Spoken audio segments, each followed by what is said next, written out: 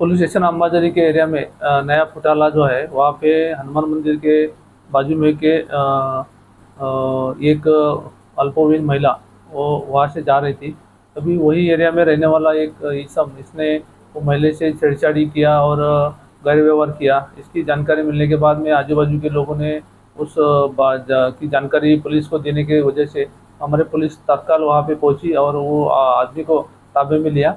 और जो महिला को महिला ने जो इन्फॉर्मेशन दिया उसके मुताबिक पुलिस स्टेशन अम्बाजरी में हमने कलम 354 ए 354 डी और पोक्सो सेक्शन आठ एट और सेक्शन ट्वेल्व के अंतर्गत हमने मामला रजिस्टर किया है और इसमें तुरंत अपराधी को हमने अरेस्ट करके कानूनी कार्रवाई किया है।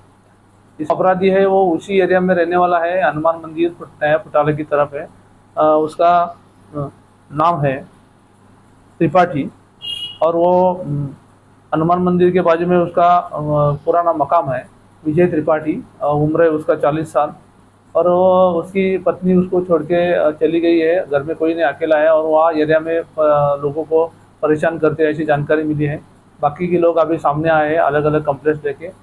अभी उन सबका स्टेटमेंट लेके हुए, हम उनके ऊपर आरोपी के ऊपर जो भी सख्त कानूनी कार्रवाई करते हैं।